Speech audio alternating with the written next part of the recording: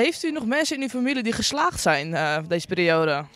Ja, zeker. Mijn achternichtje Ivy, en die zou ik graag willen feliciteren. Gefeliciteerd, Ivy! Jazeker, Dario Wolfers is geslaagd. Dus die wil ik even feliciteren bij deze. Dario, van harte gefeliciteerd man, hartstikke goed gedaan.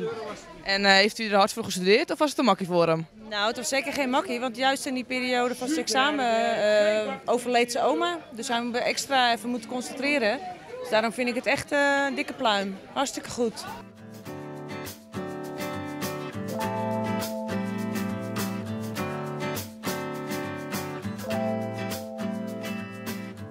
Kent u nog mensen die geslaagd zijn uh, deze periode van examens? Ja, mijn dochter is geslaagd. Ja. En uh, voor welk niveau ben je geslaagd? Wat heb je gedaan?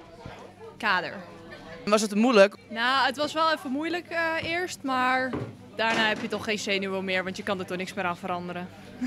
en goede cijfers, ben je er wel trots op of had het beter gekund? Ik ben er wel trots op, maar mijn wiskunde had toch iets hoger mogen wezen.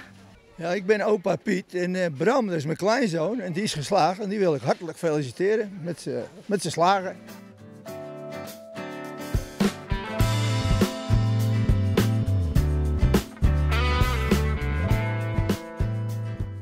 Mijn buurjongen Tim Bruines, die is van de week geslaagd.